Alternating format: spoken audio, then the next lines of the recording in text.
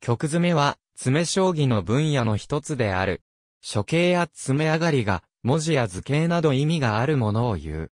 曲詰めは主に、継承型、炙り出し、立体曲詰めの3種類に分けられる。立体曲詰めの中には、途中にも意味がある図が出現する、三段曲詰めなどがある。最初の曲詰めは、江戸時代の名人二代、伊藤隆委員による作品であるとされている。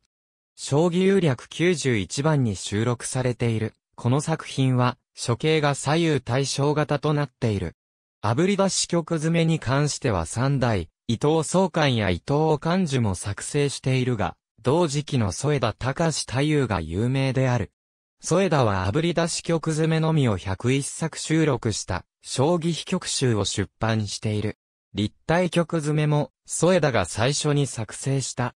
将棋秘曲集の26番、角切れ角鏡は、処刑が対称型で、詰め上がりが手鏡の形になるという作品である。この作品は、小駒立体曲詰めの最初の作品でもある。また、同作品集82番、平窓は、処刑と最終型に関連を持たせた最初の立体曲詰めである。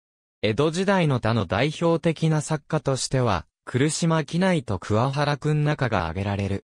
添田、来島、桑原の三人を、江戸時代の三対曲詰め作家と呼ぶこともある。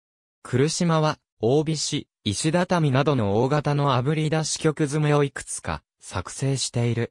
桑原は、大、小の文字の炙り出しを多く作成したほか、発見のパターンの炙り出しなども作成している。江戸時代の作品としては他に、将棋道伊藤集の1から10の炙り出しや、将棋広角5番の逆、7の字の継承型が知られている。1927年に丸山正ためは、将棋ロハザズを発表する。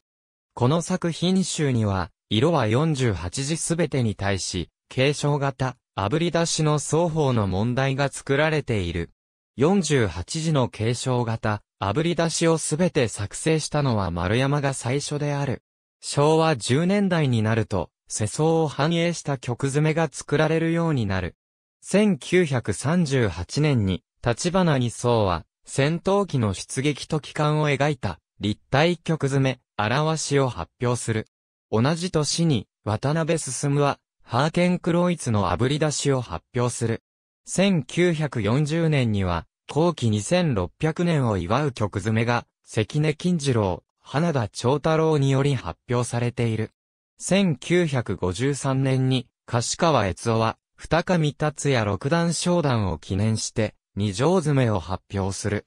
これが、処刑、詰め上がりともに文字になる、立体曲詰めの最初の作品である。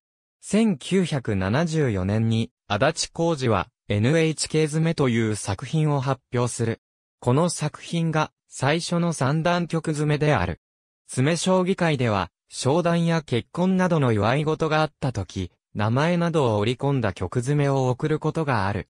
これを一般に、祝賀詰めと呼ぶ。有名な作品としては前述の二条詰めや、広江詰め、伊藤の井などがある。ありがとうございます。